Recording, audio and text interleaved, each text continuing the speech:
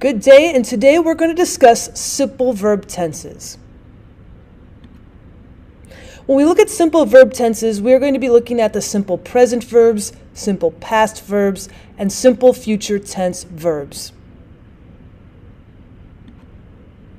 So when we discuss what a simple present verb is, you have the base form. If you have a singular noun such as I, you're going to have a singular verb work.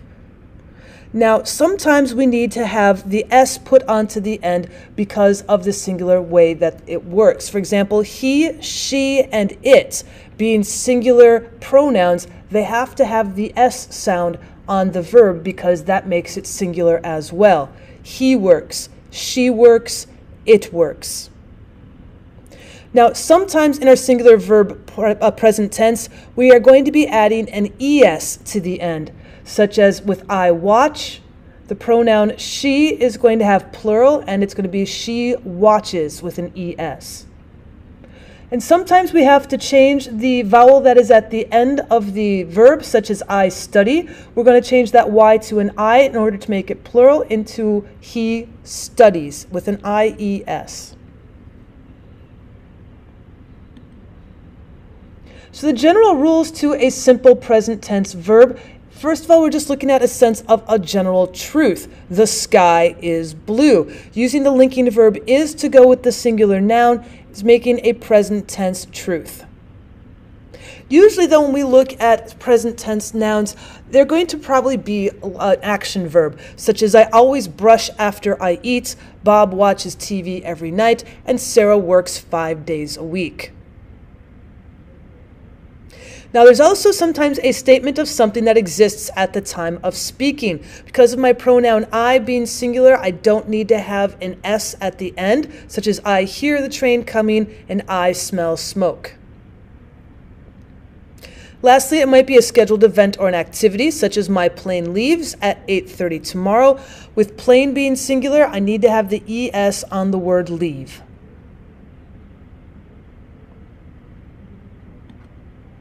So what I'd like to try now is to actually see how well we can do adding in singular uh, verbs along with the singular and plural nouns. Now you see I've got a word bank at the top for you to choose from and so we're going to use each one of these words once. Now we have to decide whether or not we add the letter S to the end of them. Let's try the first one. Anne blank handball very well.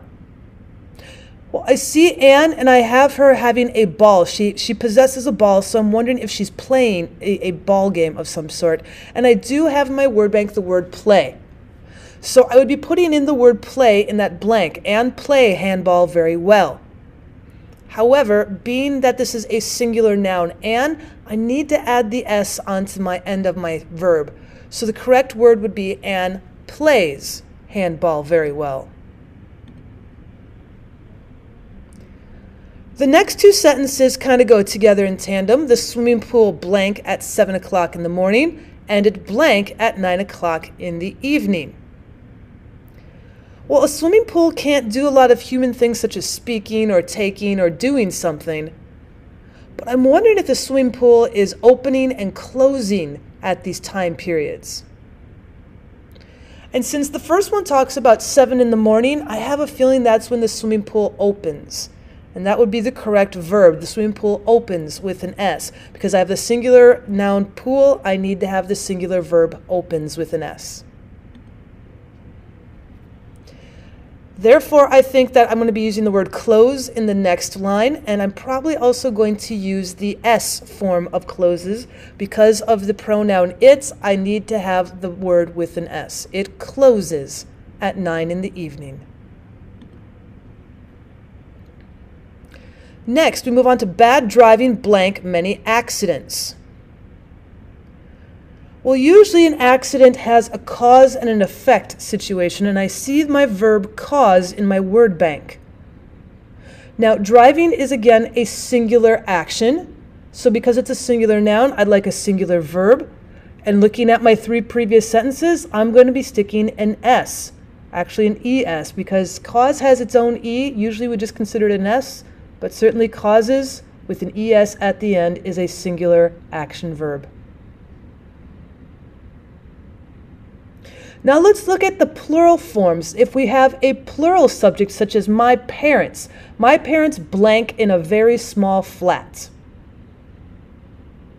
Well, a flat is another word for an apartment, and so I'm wondering if my parents live in a very small flat.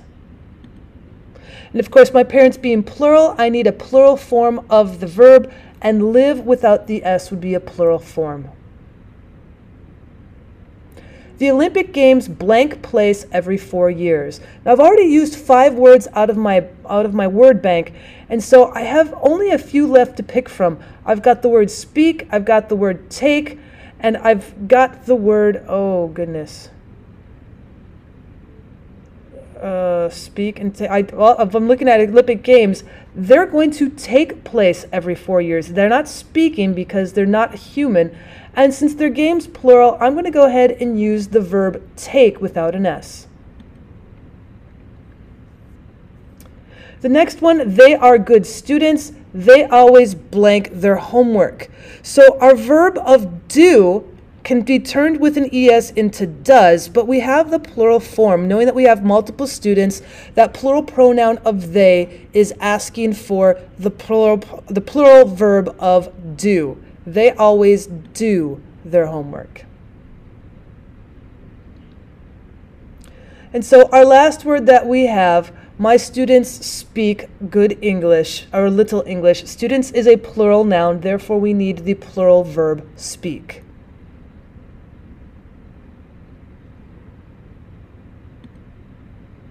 Next, we'll look at the simple past verb tenses. So you have the base form just like you did in the present tense, but this time instead of S or ES, we're going to pair at the end the, the verb format of ED, such as when you have the verb work, you might be working yesterday in the past, so you're going to say, I worked yesterday, adding the ED to the base form of the verb.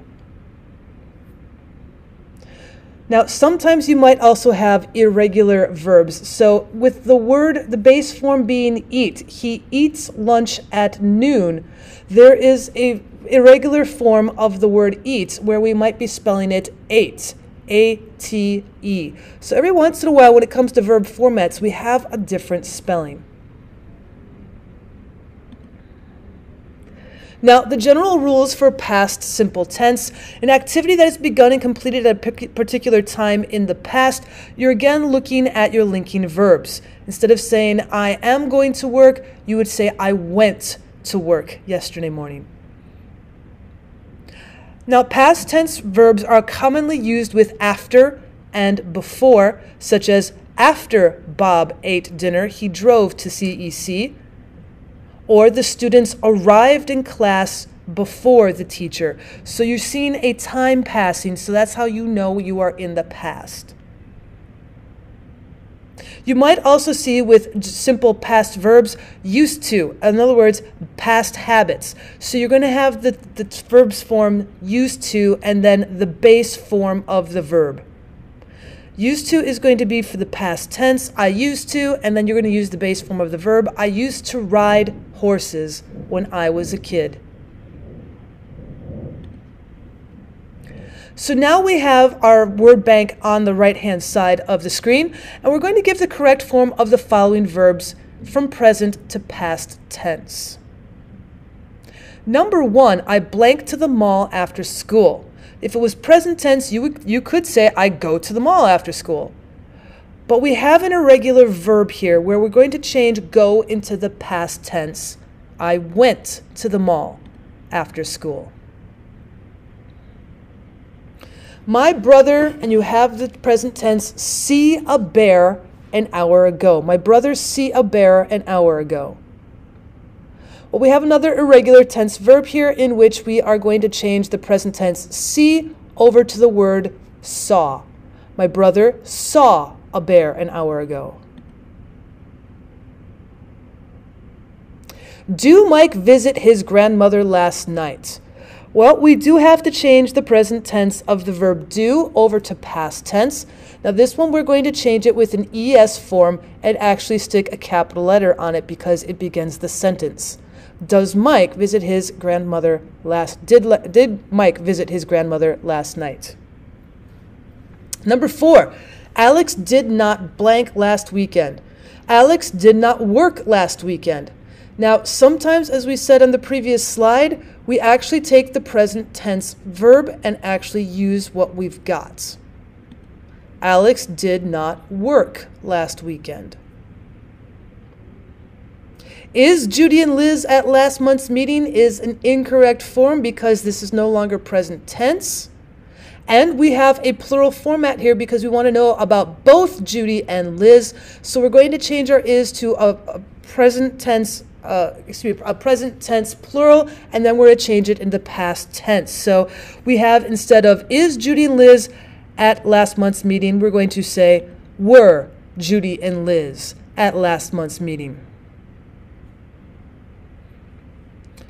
Our next sentence, sentence number six, we is once again in plural form. We are not happy after the sad ending. Well, that does sound correct, except for now this has the word after. Remember, we talked about before and after. That's telling us we're in the past.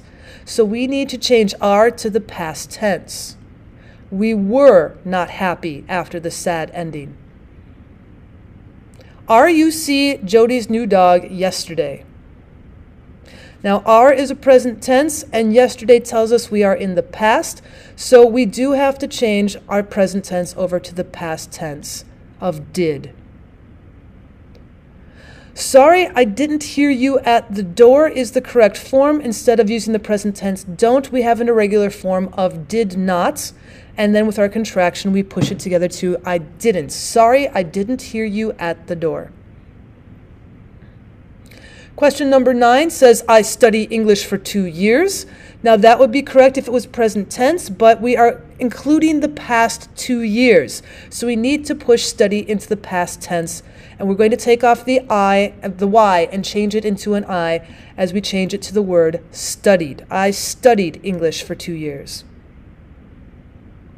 What do you eat for lunch yesterday? Again, like we saw in question number seven, the word yesterday pushes this is in the past tense. So instead of using the word do, just like we did in question number seven, you would say, What did you eat for lunch yesterday?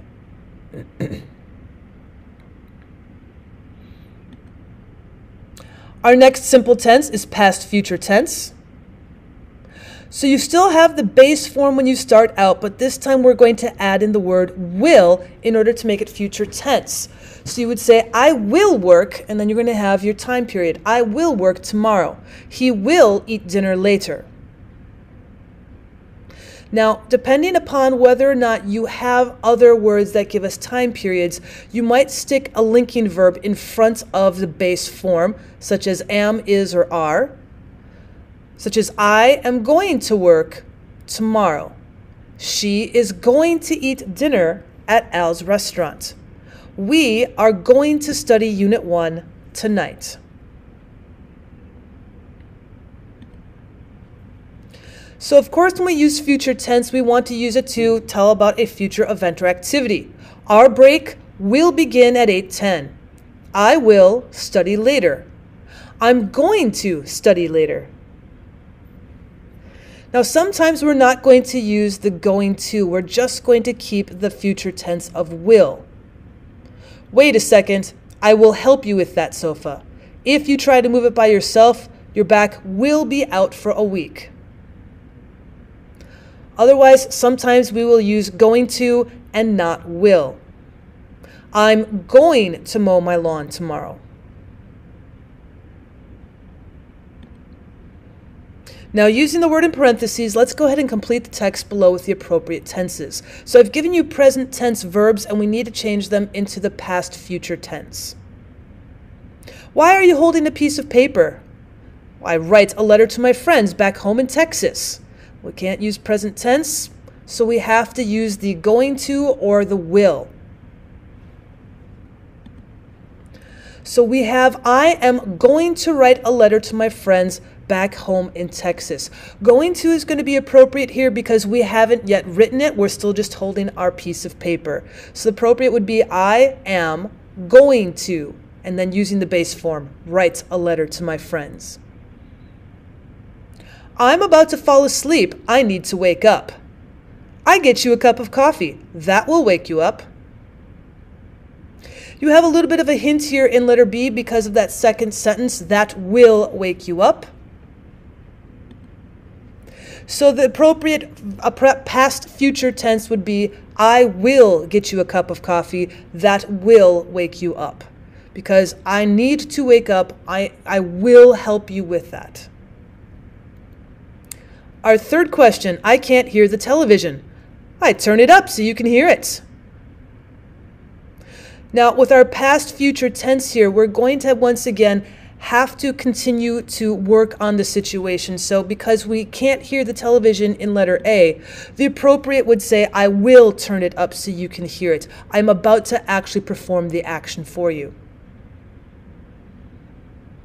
Number four, we are so excited about our trip next month to France. We visit Paris, Nice, and Grenoble.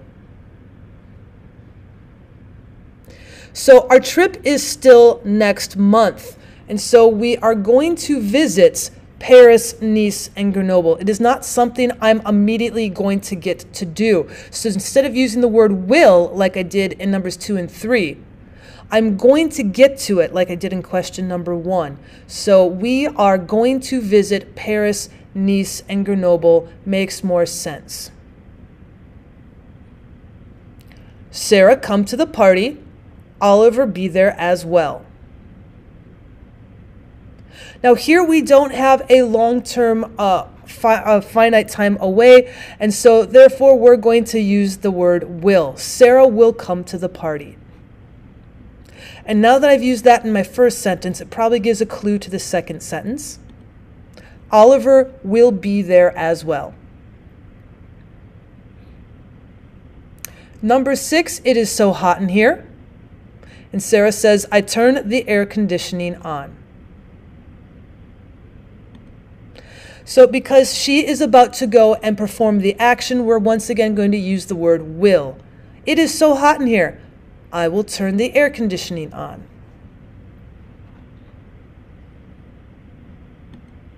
Thank you so much for stopping by to learn about past, present, and future simple tenses of verbs. If you'd like me to go through other parts of speech, please leave a comment down below and let me know what it is you've missed, or go check out my other uh, verb videos uh, that I have on the Learning Language Arts channel. And as always, I appreciate it if you subscribed.